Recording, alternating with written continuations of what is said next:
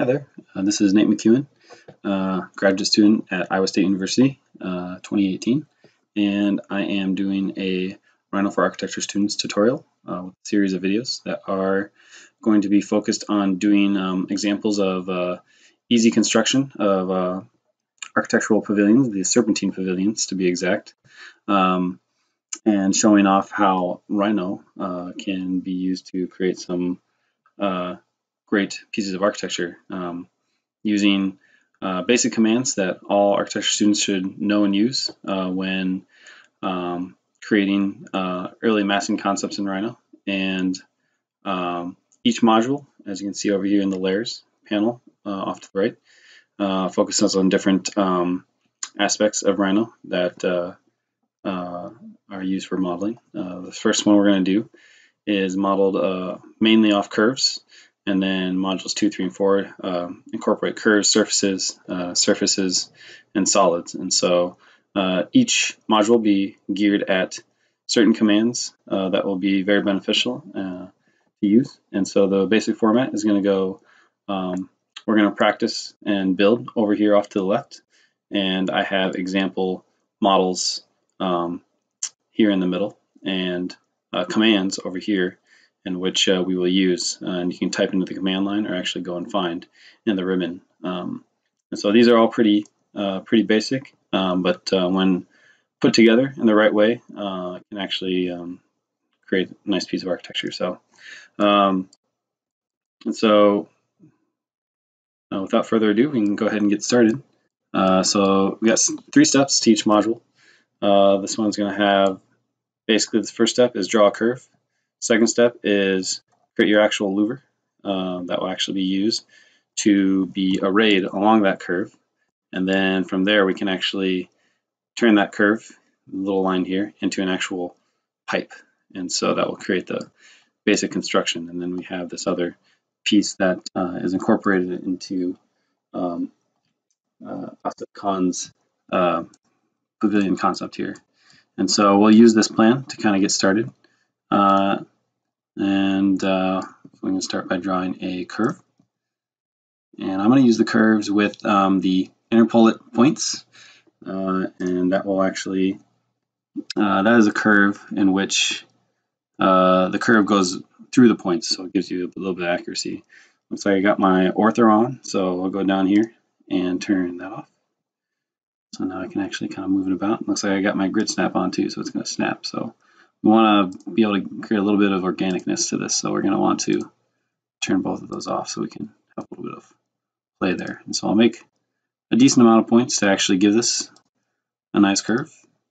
Um, and this I'm actually creating um, as close as I can to the original uh, design, but uh, when doing this, you can actually feel free to kind of make your own sort of design here and plan. You can see how easy it is just drawing a couple curves.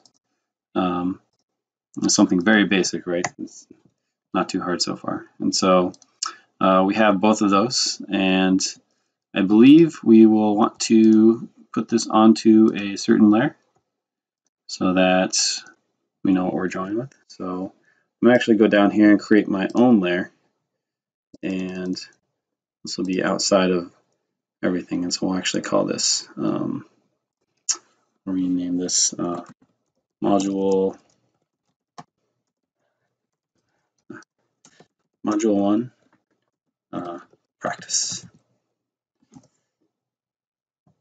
We'll make that the current layer. So I have both these curves selected. I just shift clicked and I will actually change that to module one practice. There we go.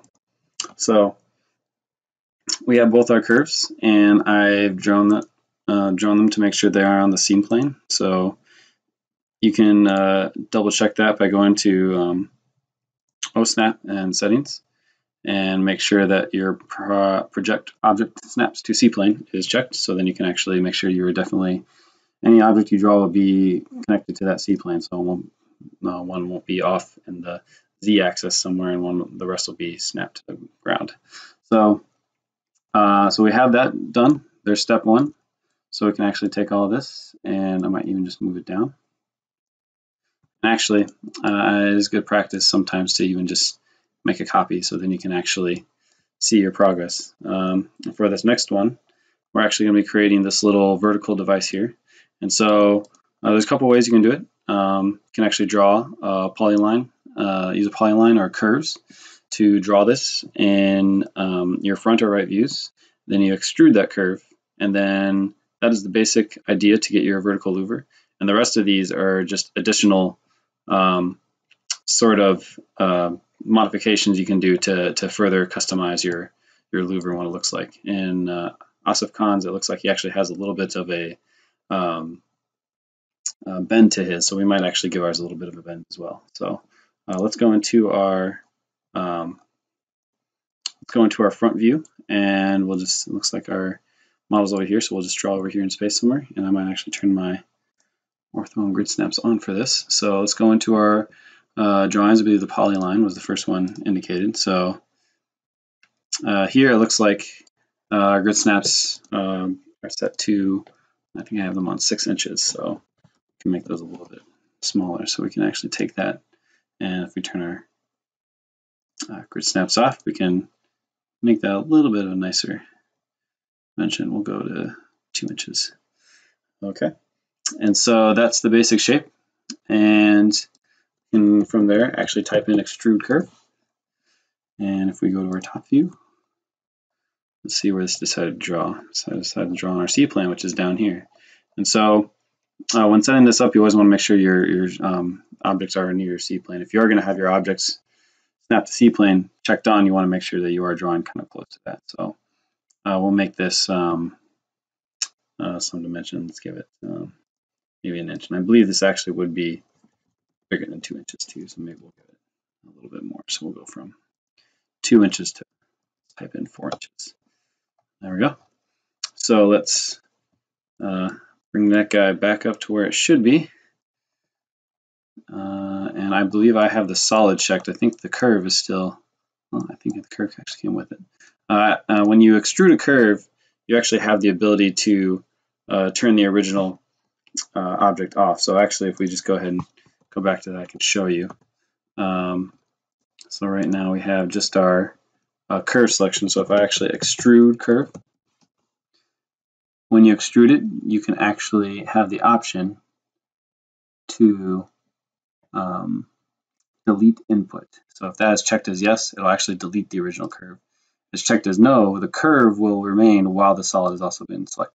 So we will want to delete that curve so we don't have to deal with it anymore. We just needed it for one a one-use purpose. So again, um, we can actually make this back to that one-inch dimension, and we'll use our scale 1D to um, get back to four inches. So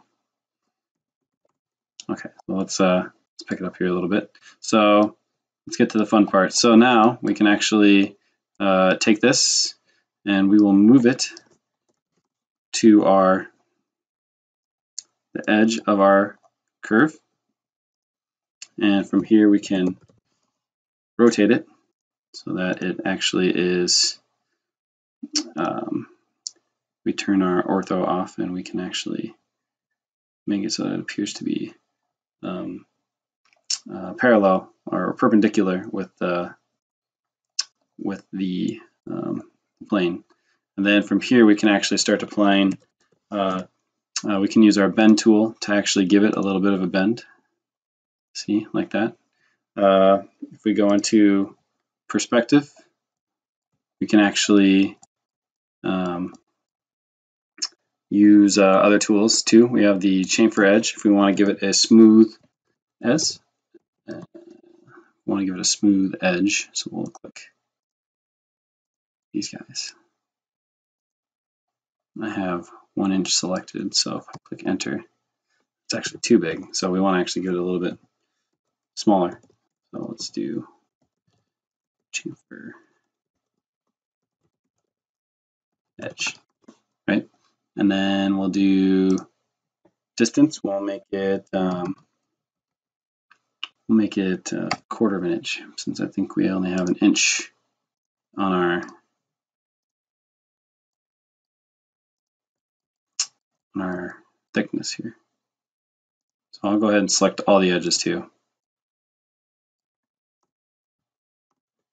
Click enter and see what that does. Okay. So now we actually have somewhat of a smooth surface. And one more little trick. Uh, I believe this kind of looks a little bit too thick still, so I'm actually going to use the gumball tool and shorten that up. So this is conceptual, so it doesn't need to be exact. So uh, what we can do is, again, uh, we can actually, um, now we can array this. And I'm going to array, array uh, along a curve. So now it's asking us to select the path of the curve. It's going to be this guy. So we can choose number of items or we can choose distance between. I'm going to go with distance between. Um, let's try six inches and we want to do road like so it actually just follows it just like that. So let's see what that does. And then it's asking us uh, to click in the viewport to choose a C-plane. So we'll just click in space and there you have it. There's the beginnings of it, right? So we can just repeat this. All right, so I've actually fast forwarded to a finished version. And so again, we just took our louvers and arrayed them uh, uh, along a curve. So now we're ready to make these into a pipe. So what we can actually do is go into top view and we want these to go through kind of the center. So we'll actually use the offset command and we will go about, uh, let's see, maybe, let's see what four inches does. Looks about right. So we can actually take that, we can actually select it and type in pipe and it's going to ask us for a radius. Uh, let's go with a, a quarter inch. And in radius, we will also do a quarter inch. So just type those in, press enter, and let's go into our perspective view. Okay, so we actually want to bring those up. Oh, that was the curve. We want to actually select the uh, pipe itself, right?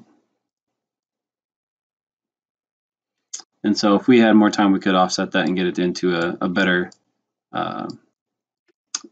into a better uh, location, but uh, that's the general idea. So then we have our pipe, and what we can actually do is finish off with the center circle. Uh, looks like they have a little actual um,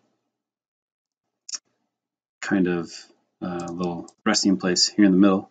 So I'll turn on my grid snaps in ortho, and I'll make this about um, and we'll make a space about that big. And actually what we'll do, we'll actually do a center circle. So